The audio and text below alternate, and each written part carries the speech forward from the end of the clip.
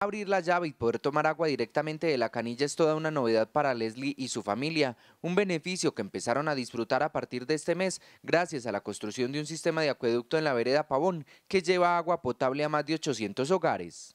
Ya viene el agua más limpia, ya podemos, tomar agua limpia en educación física en la escuela, cuando, cuando nos cansamos podemos ir a tomar agua limpia. Un colegio rural donde asisten 570 estudiantes también recibirá agua potable, un beneficio fundamental, sobre todo para la preparación de alimentos. Porque ahora los niños tienen un buen uso del agua, la pueden tomar sin hervir, como era primero, que teníamos que hervir el agua, teníamos que cargarla en cocas, pues para llevarla hacia la casa, ya no, porque ya la tenemos ahí súper bien para bañarnos, delicioso.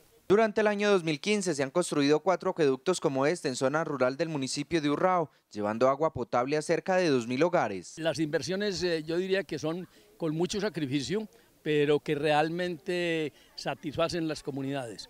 Para la construcción de estos acueductos se han invertido cerca de 640 millones de pesos con recursos del Comité de Cafeteros, la administración local y la comunidad. En los próximos días también se iniciará a construir un acueducto rural en la vereda Aguacates. Informó para Teleantioquia Noticias a mi Alejandro Higuita Cañola, conectado desde el municipio de Urrao.